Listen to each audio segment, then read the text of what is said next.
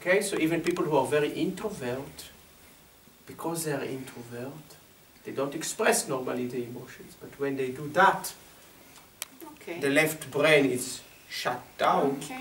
With the right brain coming all different emotions. And yeah, and you can't say that, yes, you are aggressive, you are angry.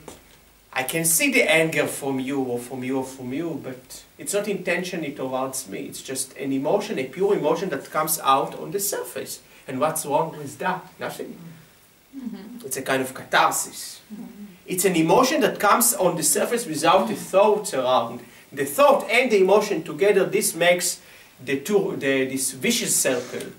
And people can lose control. Why? Because when we mix the emotion and the thought, you know, that, you know there is a good exercise where people are suggested to take the, the tennis racket and beat on the floor, beat on the mattress Yeah, yeah. to release emotions. Here is the same. With the gibberish, fast gibberish brings on the surface different kinds of emotion. Can be anger, aggressiveness, laughter. With Veronique, we had laughter.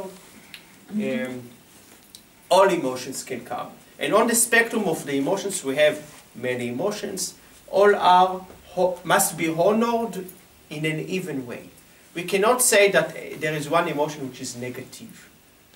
Even if I say uh, that it's not the most precise way to uh, express aggressive anger towards somebody, it's not, it's not the best, but it's may, may be better than to store it up.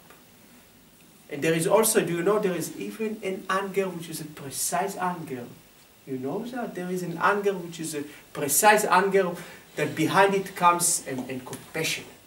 Hmm.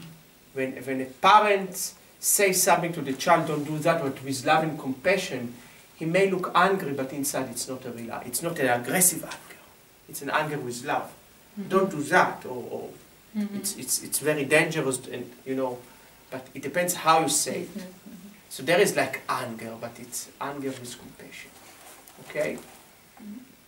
So um, even in, in Buddhism, maybe you know, uh, the Dalai Lama talks about that. In some circumstances, uh, when you defend yourself, you have to, to kill someone, but you feel the compassion towards. You don't do it out of hatred.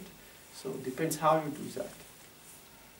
So also here, we, we, it's not that we are angry towards the person, but different emotions that are stored in us, they come into the surf on the surface. They pop up.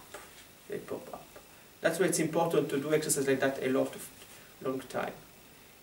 It's like jogging every day. If I jog, yeah, I, I become lighter. Yeah? If I'm angry, I'm going to jog. Then I feel lighter. I lose something, some weight here. Yeah?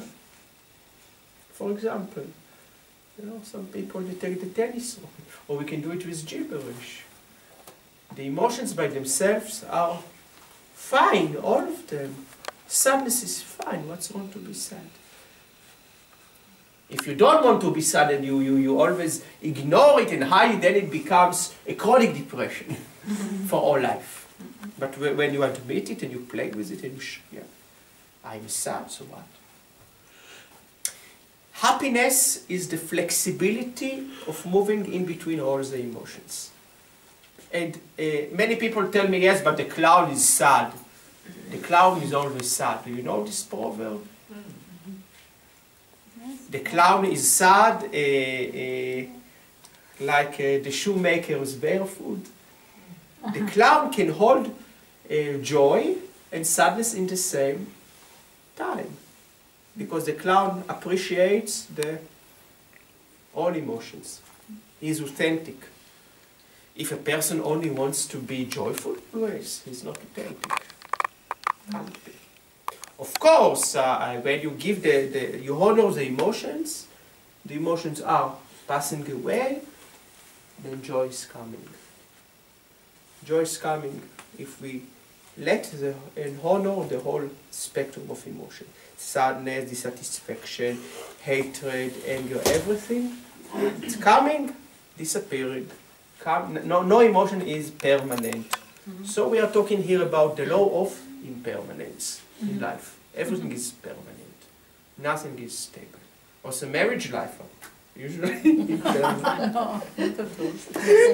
No Less more. permanent than that now. Uh-huh. Everything is impermanent. You are not the same person with the years. We are all changing. changing, changing. The, the sensation on the body changing, the weather is changing, everything is changing. We are not the same person. We cannot think the same all the life. Yeah. So this is something about uh, uh, expression uh, of emotions as we see the clown, the archetype of, of silliness, the buffon. They can be sad and they can be happy. But the, the, the clown is not depressed. Is not, is not chronically depressed or pessimistic. In order to appreciate joy and positivism, you have to acknowledge the bad things.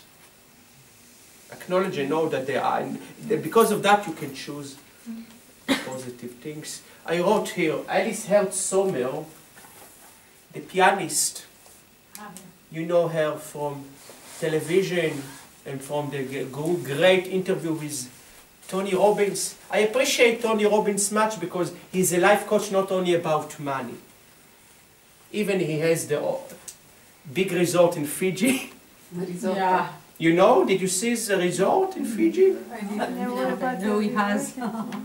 Ah, no, uh, Tony Robbins Yeah. is, a, a- is, a is, a, is the most uh, well-known life coach. And the Anthony Robbins. Anthony Robbins. Anthony. Anthony Robbins. But he posed. He, he is the one with the Hühnersuppe, with this uh, di- uh, book. Um, I don't know. uh, uh, yes, uh, La soupe, no. to awake the, the giant that Ah, in, It's, it's an, uh, another. no, I didn't another. read it to a- a- a- awake the giant that inside or something like that, Ouais.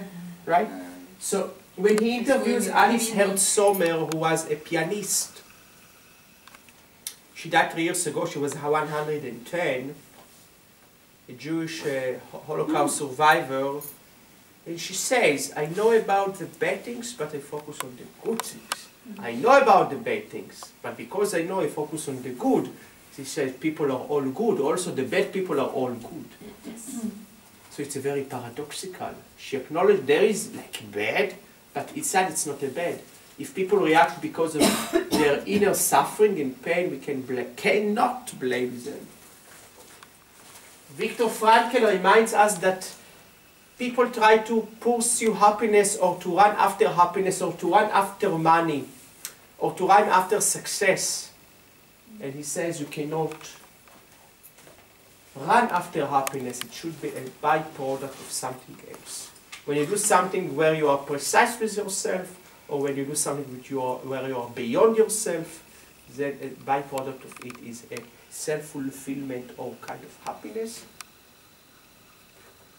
So um, you, you, you will see you see that when we pursue something, it becomes more far from us. Okay, it becomes much more far. Yes. We want to we want to we want to win, we don't win. We want a success. We don't have Yes. don't aim at success, Viktor Frankl says. Don't don't aim at success. You will never succeed succeed if you aim at it. Yeah? When you take a distance from something, then it becomes more reachable. It's the same with gibberish. It helps us to take a distance from something. A distance from from the problem, from ourselves. That's why, you know, I, I I had a lot of debate with, with, with many people because um, sometimes we have a big crisis in life, from time to time. Sometimes, they, sometimes we have a short crisis, sometimes we have a long crisis, even for one year. And people say, yes, but if you go to a vacation, you run away from the problem. It may sound true, you run away, but when you go to a vacation or you go to a meditation retreat, you take a distance from, and then you're less mixed, and you don't think about the problem. You rest with your mind, and then after some time you can back to, to your country or to, you know, you have to do, sometimes you have to like run away, but it's like we take a step out. And people say, no, no, face it, face it, face it. Of course, you can face it, but sometimes we need to take a step out also physically. Physically. Yeah? It's a very paradoxical. Usually people oh, try to. Sometimes the incubation time for you know to take a distance from problem it re- requires that we go physically far from the place we stay physically to change the mindset. And I don't I don't see anything wrong here. Some people will say yes, you you you run away. Okay, but I must take a distance. Yeah? When we take a dis- to take a distance, it's to laugh also, you know. It's to go again beyond the rules, the laws. It's to travel. It's to change the, the biochemistry of emotions. Mm-hmm. when we take a distance, gibberish is also on a small scale. Yeah. Mm-hmm. As a questions?